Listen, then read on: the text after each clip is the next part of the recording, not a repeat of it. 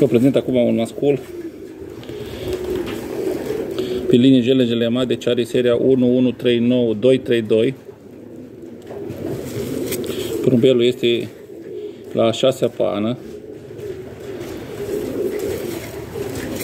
Tata lui este un porumbel oprit în matcă din toamna lui 2021 și i-am pus numele de favorit Silke pentru că e scos din fiul lui Silke ori Miss Miller, deci cea mai bună femeie la mea zburată, care a fost locul 1 la mai multe discipline, la palmares.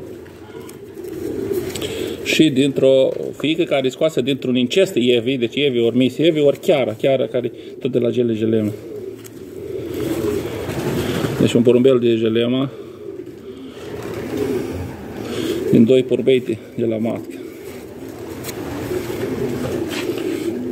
Arată foarte, foarte bine. Echilibru foarte bun.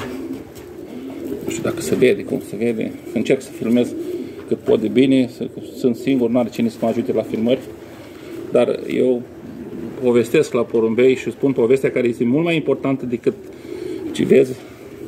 Eu am spus totdeauna că porumbeii se văd mai bine când le faci o filmare jos decât în mână așa dar tot ce contează este de la ce crescător luați porumbei și dacă acel crescător zboară, dacă are rezultate sau dacă are referințe în primul rând. Îl întrebați, deci, cui ai mai dat și au făcut ceva cu porumbei. Că dacă crescătorul are rezultate numai el și nu are nimeni în, în altă parte uh, rezultate cu porumbei de la el, nu este în regulă. Înseamnă că ori are zonă bună, ori are, ori nu dă marfă bună la nimeni. Și nu vă avantajează cu nimic. Eu referințele le-am le-am postat pe net, puteți băga, bate Ciobanul Bogdan în referințe sau Ciobanul Bogdan în rezultate.